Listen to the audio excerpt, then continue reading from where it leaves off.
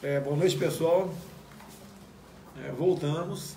O objetivo principal dessa breve live aqui é se comunicar com milhares de pessoas que estão na frente do meu condomínio, aqui na Barra da Tijuca.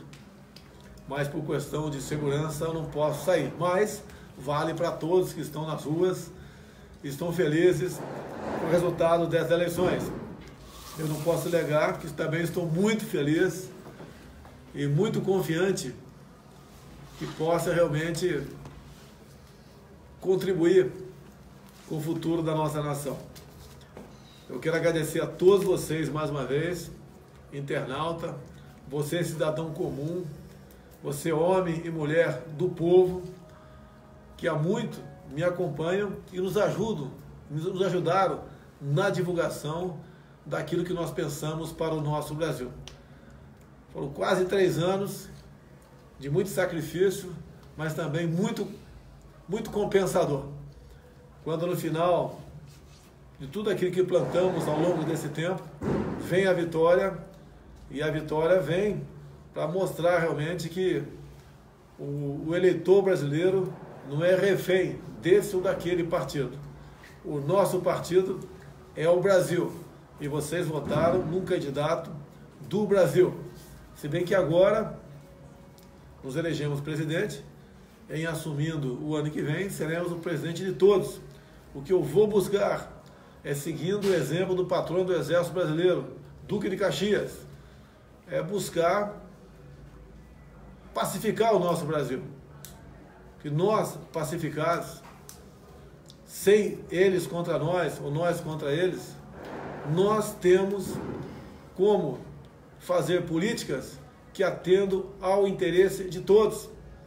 Queremos uma, um ensino de qualidade, onde no final da linha tenhamos jovens realmente formados com bons profissionais, quer seja com bons patrões, bons empregados ou bons liberais. Queremos é isso.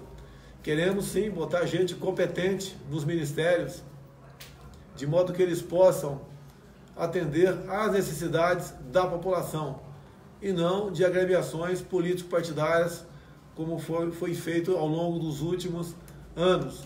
Somente dessa forma nós podemos sim resgatar o nosso Brasil.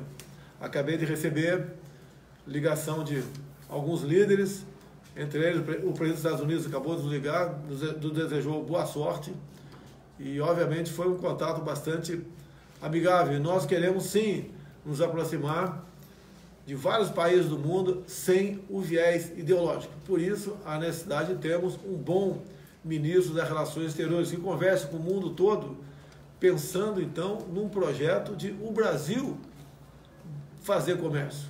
Logicamente, sem prejudicar o nosso o nosso empresário, o nosso industrial aqui no Brasil, buscando então parcerias com esses países, de modo que a nossa economia comece realmente a andar. No mais também, vamos aqui, junto ao Ministério da Educação, deixar de lado qualquer temática voltado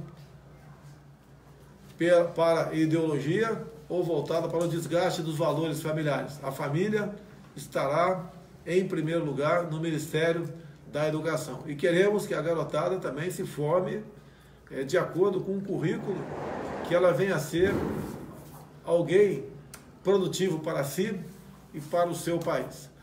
Meu muito obrigado a todos vocês. Se não fosse vocês, repito, não teria chegado a essa situação. Estou muito feliz por um lado e muito preocupado pelo outro, pelos tamanhos dos desafios que nós teremos pela frente. Vamos unir a todos.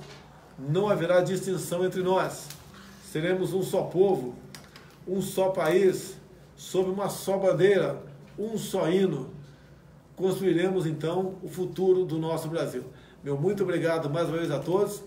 E em especial agora, quem está na frente do meu condomínio, dizer que eu gostaria muito de ir para aí e bater um papo com vocês, mas infelizmente a questão de segurança, até por imagens que tivemos, é, não é possível a minha saída. Brasileiros e brasileiras, um grande abraço a todos vocês. Meu muito obrigado pelo apoio, pela consideração, pelas orações e pela confiança. Realmente não tem preço o que vocês fizeram por mim. E eu peço a Deus, eu peço a Deus que mais que inteligência nos dê forças para bem conduzirmos o futuro do nosso Brasil. Meu muito obrigado a todos e até uma nova oportunidade, se Deus quiser. Tamo juntos.